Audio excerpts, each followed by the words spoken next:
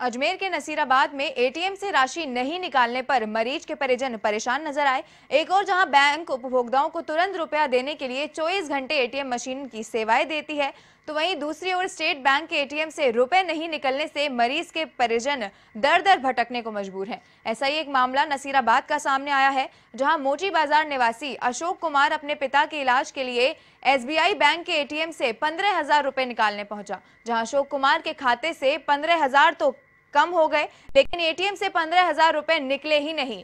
पीड़ित ने customer care पर मामले की सूचना दर्ज कराई, जिसके बाद बैंक मैनेजर के पास अपनी फरियाद लेकर पहुँचा, लेकिन वहाँ से भी उसे चलता किया। पीड़ित ने बताया कि उसे अपने पिता को दिखाने के लिए रुपयों की सख्त ज़रूरत है, और ऐसे में कोई भी घटना घटती है तो इसकी समस्त ज़िम्मेदारी बैंक प्रशासन की होगी। मैंने पंद्रह हज़ार रुपये निकाले, मेरे पिताजी भी बीमार है।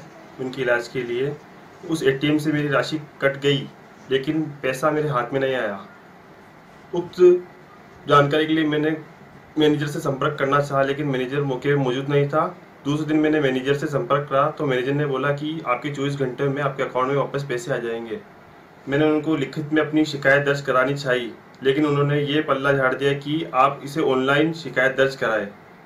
मुझे पैसों की अभी सख्त ज़रूरत है, मेरे पिताजी अभी बीमार है। इस घटनाक्रम में मेरे पिताजी या मेरे घर परिवार वाले को अगर किसी को कुछ हो जाता तो इसकी ज़िम्मेदारी कौन ले देश और दुनिया की हर छोटी बड़ी खबर के लिए सब्सक्राइब करें एवन टीवी न्यूज़ साथ ही बेल आइकन को प्रेस करें ताकि आप पा सकें ताज़ा खबरों की नोटिफिकेशन